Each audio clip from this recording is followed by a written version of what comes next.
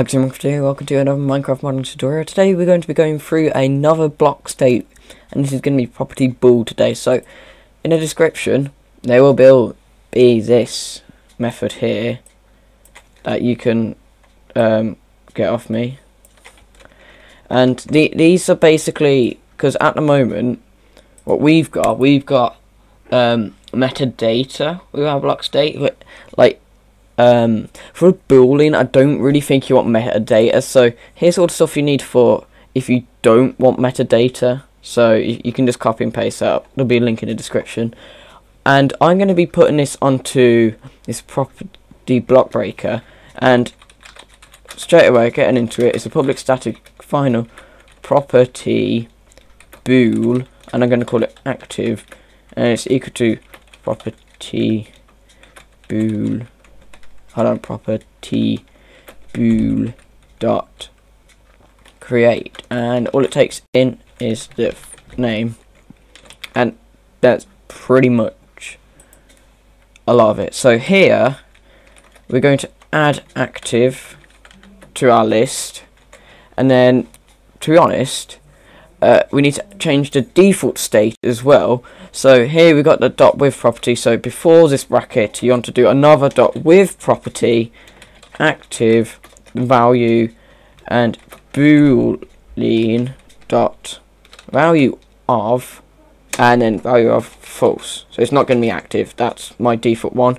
You have to do this for some reason. That's just how it works.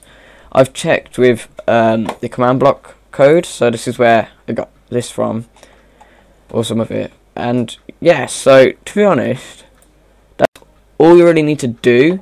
But obviously, we're going to have to do this with our model files. So go into our block breaker thing here, we've got type wood, but we can't. We have to actually put a comma on this. Now it goes alphabetically. So we've got to do active equal to true and false. So I'm going to put false, then put a comma, and all of these are just going to be the false one. So all the other ones, you're going to have to make another model. Yay. So I'm just going to change the texture. So I'm going to copy and paste these.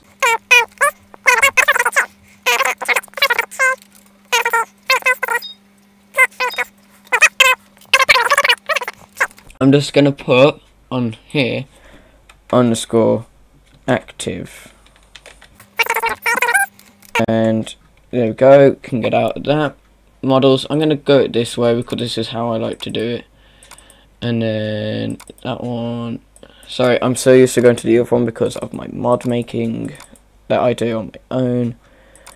Uh, models, and it's block, and um, because it's not got any metadata, it's just going to be like 0 it's just going to be true or false. And uh, block breakers all of you control C control V and then um, open these up. And I'm just going to put underscore active on the end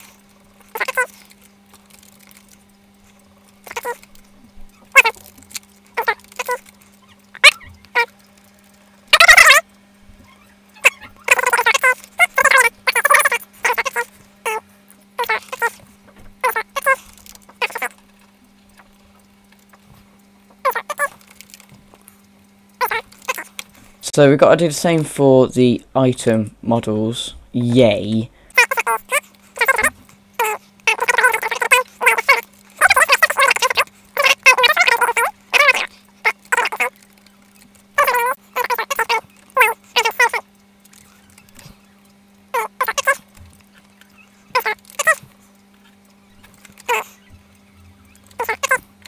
And now we need to just texture these.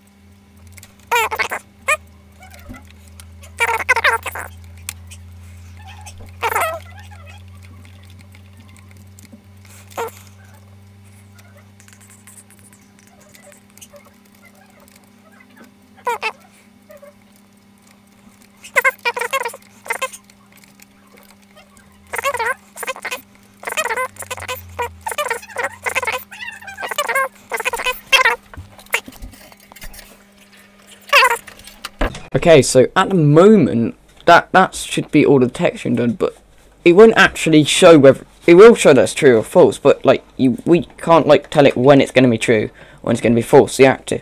So if we do get actual state, and it's just going to return. So um, just to return the default, but um, I'll do an if statement. So if I do if uh, world in, I'm going to change this to world. It just annoys me when it's world in. Um, if world dot get block state at the block pos dot uh, up so the one above it is it this is if we when we do property direction on this will be different. So if we get the block state for the one up and then we just dot get block is not equal to um, nothing. So if there is a block above us we're going to make sure it's going to be active so we're going to return state dot with property active and the value is going to be boolean dot um, value of false no true. So that's just going to say to do true. And else so if it isn't, we're going to make sure we're going to return state dot with property active boolean dot value of and false. There we go. We should be able to run the game, and we should see that everything works. Okay, so the error's in here. So I accidentally put a comma on the end, like the clever person I am.